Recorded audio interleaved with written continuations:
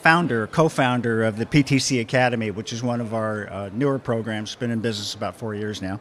Uh, Sean's going to talk about your next generation future, the challenges you're going to face, and probably talk about how that relates to PTC Academy, if I had to guess. Sean.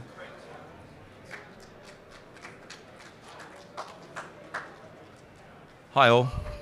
Um, it's pretty pretty loud in here, but we'll see how we go. Um, to, to, put some context behind this, this this session's really a bit of a preview of the sort of work we do at the academy. This isn't actually a presentation. I'm turning it into a presentation, but it's actually a typical example of a workshop we run with a lot of young and up and coming executives. So we normally get executives from around the industry, whether they be um, telco or data center or, or, or hyperscalers. They come in, donate their time, and we usually have around 20 to 25 students, and it becomes highly interactive. So we normally break them into groups and, and run some exercises. And the sort of things we, we talk about with these young up and coming executives are challenges. And, and it's always done in the context of, of, a, of an executive who's facilitating a session having faced these challenges themselves and describing how they've overcome them and the thought process behind that to give, to give the participants of the Academy a bit of an insight to how executives think. So that's, that's pretty much the context of this presentation and very much the, the activity that's undertaken at, um, at, the, at the PTC Academy. So if we just have a, have a bit of a look at this one. Can't, I'd rather, rather walk around, but still. So if we have, have a look at this one, the challenges that most, most uh, telcos are facing, and, and indeed beyond, beyond the telco space, uh, a lot of the uh, just ISPs and mobile operators are facing, come in four, four, four, four types. Typically they're financial threats, a lot of volatility in the market now if we look at what's happening with, with Chapter 11s of late, and also if you have a look at the massive amount of M&A activity that we're seeing in the market right now.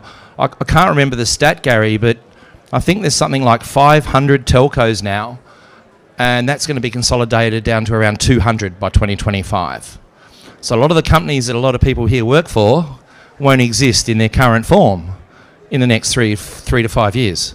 We'll all be working for somebody else, but same name, different business card, just like every year at PTC. So financial threats or challenges are a big part of it compliance is becoming a massive issue, particularly in the submarine cable space. If we look at the issues currently centered around the trade war with, with China, for example, there's a lot of regulatory issues and, and FCC challenges which don't necessarily relate to regulatory, but more so security. So that's also a threat. And we, we've seen a few submarine cable systems over the last two years that have been planned to be built, have started getting built, and then run into some hurdles in, in, in regulatory slash security environments, which has stalled them. And some of these systems, people have spent you know half a billion dollars building, and they can't turn the things on. So there's certainly some challenges from a regulatory and compliance perspective. There's also a lot of uh, operational threats. We see a lot of changes now in the way businesses are actually operating with, with the cloud and, and their reliance on external external suppliers creating problems. And we also have strategic threats customers, competitors, and as I mentioned before, investors.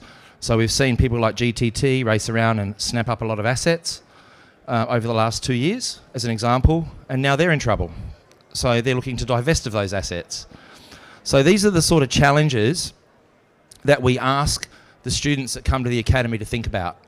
And we normally break them down into, into smaller groups and they sit around whiteboards and they brainstorm amongst themselves and come up with what they perceive to be their own challenges in their own businesses. And quite often you find there's a, a lot of commonality between them all. So here's, here's one example. Um, this actually came from, from the students.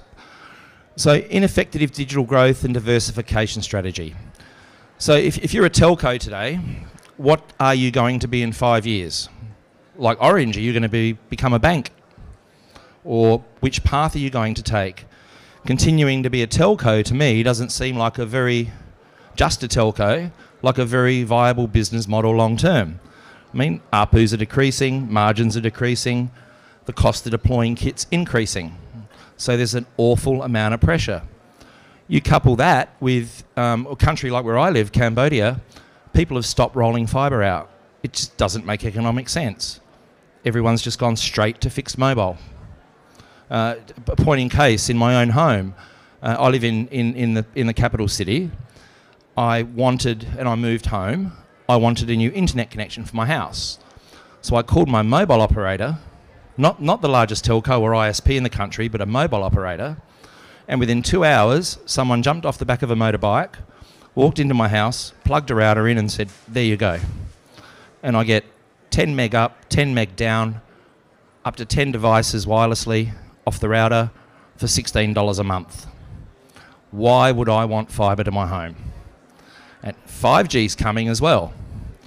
So the sort of threats and challenges we're talking about is it's they're, actually mo- uh, fixed line operators in Southeast Asia now are rolling out fixed mobile solutions and not fibre in certain countries. It's an interesting dynamic. So they're actually becoming wholesale customers of mobile operators. So they're even so. Not only do they not. Okay, how many people in this room called home last night? Pretty much all of you. How many of you went plus six five and dialed a number and hit go? Nobody. Everybody in this room's used Viber, WhatsApp, Skype, or some other form of OTT application. So if, if you if you if you haven't got an effective diversification strategy, you're going to be dead. And these are the sort of concepts we ask the students to think about. What is our organisation going to be in three to five years' time? We're relying on voice. We're relying on on on uh, fixed line services, and even in our industry, in the sub, which I'm in, the submarine cable industry, we're not seeing people buy IPLCs anymore. People just don't buy them. Everybody just buys DIA or direct internet access. So the product set's changing and evolving. We're seeing we're seeing a shift from in the wholesale space, folks going from uh, uh from buying 10 gig circuits to now buying full fiber pairs right? That, that's really happening right now on the international space. And for the enterprise space, we're seeing people buy DIA. They're not looking to buy 10 meg IPLCs anymore or 100, 100 meg IPLCs. It's all direct internet access. So the fundamental business models are changing. And it's really fun to watch these, these young guys, girls, all get in a room together, look at their own organisation, and think, wow, how's that going to impact on us? What can we do to mitigate against it? What sort of strategies can we deploy to actually um, evolve our business? And then they can take that back to their organisation and, and, and see what they can do. But it sets them up to be leaders of the future. We, are trying to educate these, these, these youngsters to actually uh, think like leaders and get feedback from leaders. And quite often, what will happen in these, in these um, academies is you end up with you end up mentoring two or three of them, and you'll get phone calls once every month. You know, I've got this problem at work. How should I address that, for example? So it's, it's actually quite rewarding and, and enriching. So I'd encourage any of you, if you've got um, if you've got young up and coming execs, the people that you guys have your eye on internally that might be coming next year for here for the first time, for example, they're the sort of people we target. and we, have actually already talked about it. I didn't hit the slide, but an interesting, um, an interesting point to note here is this graph, and, and this graph actually intrigued most of the students when we put it up this year, uh, last year at training, I should say, in Thailand. If we look at revenues, they're going from 48 billion to, to you know, a trillion dollars. And if we look at the connectivity component as a percentage of the total revenue now versus 2025, we're going from 22% to 5% in terms of the total wallet of, of spend. So if you're sitting in a telco right now and you see that graph, it's pretty horrific. So that's what we encourage these, these, these guys to look at and think, wow, we need to do something about this. We need to evolve, adapt, and change.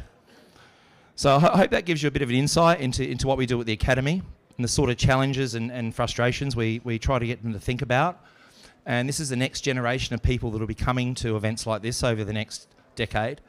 So uh, it's good for us to get them to put their thinking caps on now and think about the future. So thank you.